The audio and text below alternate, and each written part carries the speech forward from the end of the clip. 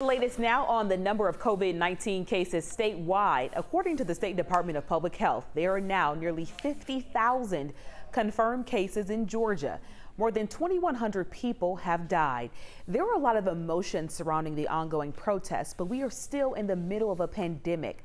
The impact of having so many people crowded together is still unknown. Reveal investigator Rebecca Lindstrom found there's one forecasting model that shows Georgia was already headed in the wrong direction before the protests started. The model was created by the co founder of Instagram. It essentially tells us how fast the virus is spreading in our community. Georgia's rate of transmission right now is second only to North Carolina.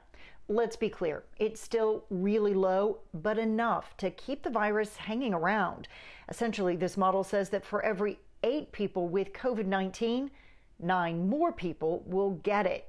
I am not a mathematician or an expert in infectious diseases, so we took this model to someone who could tell me if this chart has merit. And it was first developed for other epidemic diseases like SARS and MERS and Ebola and things like that. Dr. Richard Rothenberg says the math behind the model has been around for about eight years and tweaked with each event.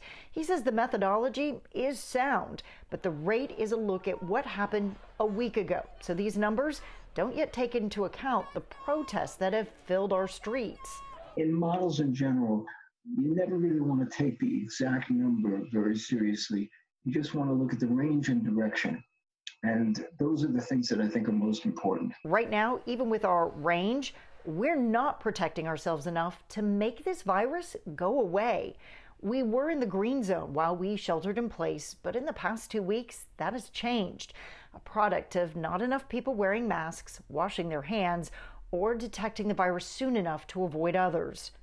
So the period from two days before to maybe four or five days after you become sick is a critical period for spread. Now, the people who are important in protecting themselves are the ones who don't have it. We've shown you this trend graph for weeks. It seems like good news, and big picture, it is. But look at Connecticut's trend.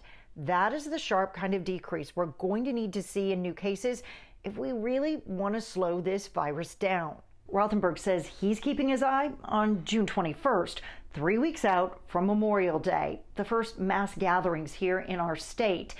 There are plenty of states that are in the green in this model. So he says the real takeaway here is do what you need to do, but protect yourself while you're doing it.